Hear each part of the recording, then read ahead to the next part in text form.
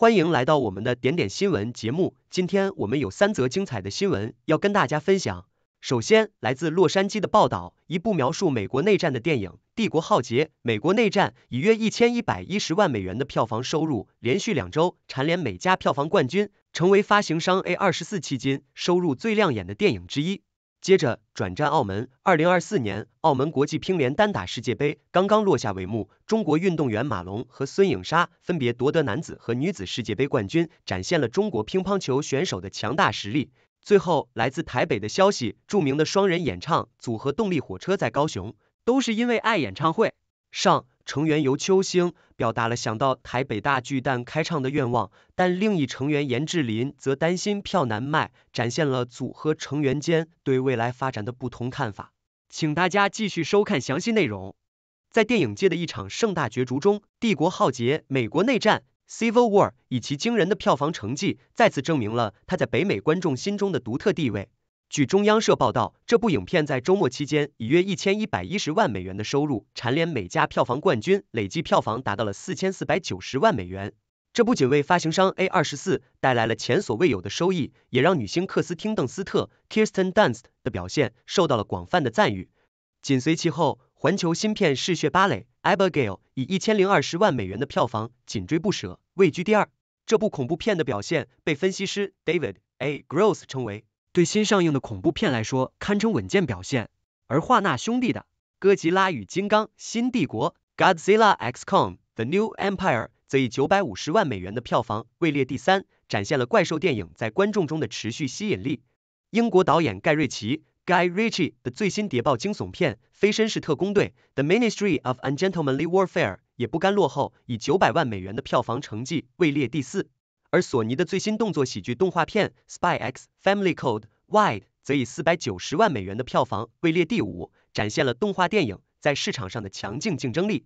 在另一方面，体育界也迎来了它的佳绩。据侨报报道，二零二四年澳门国际乒联单打世界杯落下帷幕，中国运动员马龙和孙颖莎分别夺得男子和女子世界杯冠军，展现了中国乒乓球运动员的卓越实力和竞技水平。音乐界也不缺乏精彩瞬间。中央社报道，双人演唱组合动力火车在高雄都是因为爱演唱会后，尤秋兴表达了想在台北大巨蛋开唱的愿望。虽然严志林担心票难卖，但尤秋兴依然充满梦想的说：“为何不能做梦？”这种积极向上的态度不仅赢得了歌迷的支持，也预示着动力火车未来可能在更大的舞台上展现他们的音乐魅力。无论是在电影、体育还是音乐领域，这些故事都展现了不同领域中人们对于梦想的追求和实现的努力。他们的成功不仅为他们自己带来了荣耀，也为观众提供了无尽的娱乐和灵感。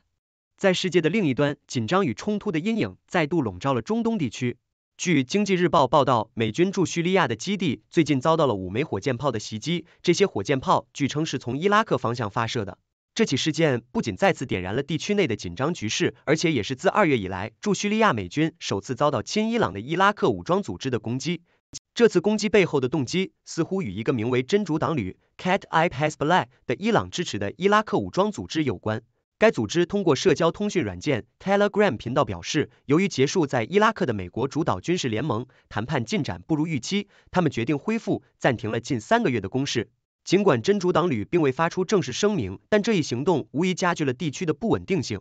美国匿名官员透露，袭击虽然没有造成美军人员伤亡，但这并没有减轻事件的严重性。作为回应，美国领导的联合部队在伊拉克及叙利亚对发射火箭炮的位置进行了轰炸还击。伊拉克军方也介入了这一事件，扣押了被用于发射火箭炮的车辆，并对其进行了空袭摧毁。在另一边，地缘政治的变化也在亚太地区产生了波动。第十九届西太平洋海军论坛年会在中国山东青岛举行，但菲律宾却未派代表参会。与此同时，美国和菲律宾展开了史上最大规模的肩并肩联合军演，这无疑是对中国在该地区军事活动的一种回应。中央军委副主席张又侠在开幕词中强调，海洋不应成为各国炫耀武力的竞技场，而应是各国共同维护安全与发展的平台。他警告，任何试图在海上搞围堵遏制的行为，只会让世界陷入更深的动荡之中。中国海军研究院大校梁威表示，所有论坛成员国与观察员国都收到了邀请。对于菲律宾未能参会的原因，他表示并不清楚。而在太平洋的另一端，美国总统拜登的一番言论引发了轩然大波。拜登上周提及其舅父在第二次世界大战期间可能被巴布亚新几内亚的食人族吃掉的说法，引起了巴新总理马拉佩的强烈反应。马拉佩表示，他的国家不应该被贴上食人族的标签，并认为拜登的言论只是一时迷失。他还敦促拜登让白宫调查二战遗迹，以厘清真相。这些事件，无论是在中东的冲突、亚太地区的地缘政治角力，还是太平洋另一端的历史遗留问题，都反映出当前国际局势的复杂性与多变性。他们不仅是对各国外交政策的考验，也是对国际社会合作与理解能力的挑战。在这个充满不确定性的世界中，各国之间的沟通与合作比以往任何时候都显得更为重要。在嘉禾华轩举行的马来亚艺术之父杨曼生展览中，观众得以一窥马来亚生活的日常与美丽，通过杨曼生（一八九六至一九六二）的眼睛。这位生于古今的艺术家，以其精湛的技艺和对细节的深刻把握，带领我们穿越时间，回到了二十世纪三十年代至五十年代初的马来亚。展览展出了二十幅珍贵的画作，每一幅都讲述了一个故事，展现了一个时代的风貌。其中，一九三八年的水彩画乐园展示了人们划小船，沿着蜿蜒的河流，向着远方参天大树驶去的景象，通过笔触和色彩变化的细节，营造出一种独特的氛围意境。而一见钟情这幅少见的人物具象作品，则通过甘蔗扎纸这一独特素材，描绘了一位男子被女士吸引的回眸神态，带有浓厚的油画感。在河畔小屋和第一道曙光中，杨曼生用粉嫩的色彩描绘了干榜生活和独特的氛围营造，展现了他对马来亚生活的深刻理解和情感表达。展览中唯一的油画《学者与孩子》则显示了保罗·高更等后印象派画家对杨曼生艺术语言的影响。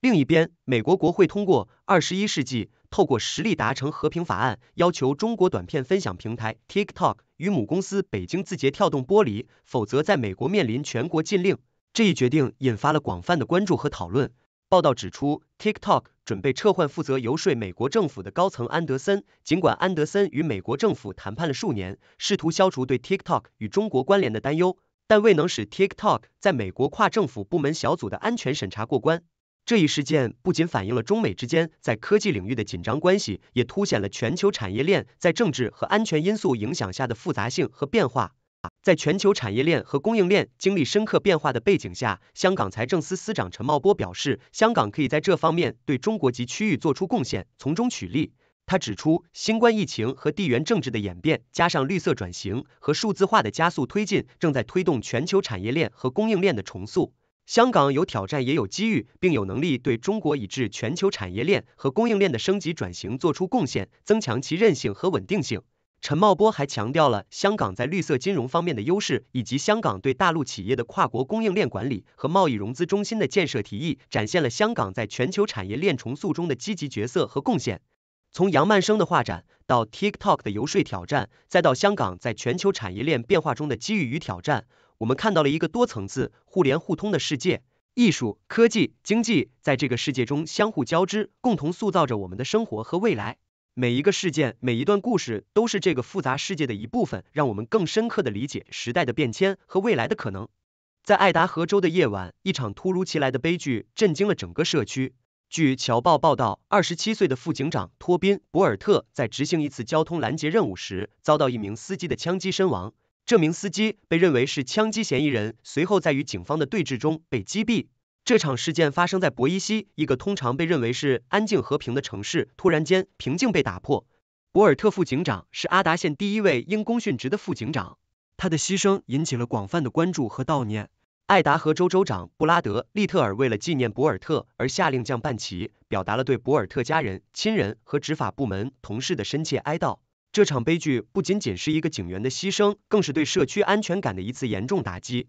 与此同时，在宾夕法尼亚州匹兹堡，一场关于文化遗产的争议正在进行。如侨报所述，匹兹堡市希望将克里斯托弗·哥伦布雕像从申利公园移除，但这一决定遭到了意大利遗产组织的反对。这座雕像的命运引发了广泛的讨论，涉及历史记忆、文化认同以及公共空间的使用。尽管哥伦布雕像在某些人眼中是探险和发现的象征，但在其他人看来，哥伦布的历史更多的与原住民的苦难相关。另一方面，在阿肯色州的海伦纳西海伦纳市，一场校外派对后的枪击事件再次揭示了青少年暴力和枪支控制问题的紧迫性。据侨报报道，一名十九岁的青少年因涉嫌一级谋杀被警方拘留。这起事件发生在中央高中的一名学生在毕业舞会后的派对中被枪杀。这起悲剧不仅夺走了一个年轻生命，也为当地社区蒙上了一层阴影，引发了对青少年安全和枪支管制的再次反思。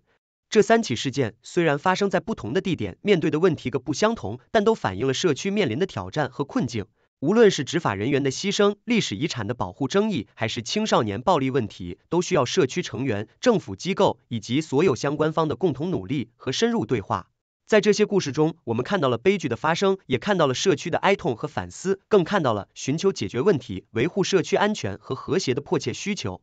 在世界的另一端，伊朗与以色列之间的紧张局势升温。星岛日报报道了伊朗最高领袖哈梅内伊对于德黑兰对以色列发动的无人机和导弹攻击避而不谈。这场史无前例的攻击尽管壮观，但似乎几乎未能击中任何目标。伊朗于本月十三日首次直接攻击以色列，发射了超过三百个导弹和无人机，目的是为了报复以色列本月初对叙利亚首都大马士革附近的伊朗设施的攻击。然而，在美国、英国和邻国约旦的支持下，以色列的防空系统和战机成功击落了绝大多数来袭的无人机和导弹。哈梅内伊在一次会议上发表的言论似乎默认了，即使对以色列发动了大规模攻击，也几乎没有击中任何目标。他强调，讨论导弹发射数量和命中率是次要的，最重要的是伊朗及其军队在国际舞台上展示出的意志。这番言论被认为是对伊朗此次攻击几乎未能取得成果的默认承认。而在洛杉矶，一场突如其来的意外在好莱坞环球影城中发生。据侨报报道，一辆有轨游览车撞上护栏，导致十五人受伤。这辆游览车在转弯时发生事故，最后一节车厢与金属护栏相撞，导致车辆倾斜，并将多名乘客从车中甩出。初步调查显示，这起事故可能是由于车辆刹车失灵引发的。这起事故发生在环球影城的世界知名摄影棚之旅中，这条线路让游客得以了解环球电影的幕后制作过程。与此同时，在四川的一个平凡的日子里，一场大火在一个五楼的民宅中爆发，三名小孩被困在火海之中。星岛日报报道了这一感人至深的救援行动。一位途经的吊机车司机和其他路人勇敢地升高至五楼，击破窗外的铁栏，成功救下了三名小孩。这场救援行动展示了人们在紧急情况下的无私与勇气。据报道，火灾是由于一位年长的女住客的主食忘了关火外出所引起的。在消防员到达之前，民众张尚义和其他勇士们采取了行动，利用吊机车和简单的工具，成功的将被困的孩子们救出。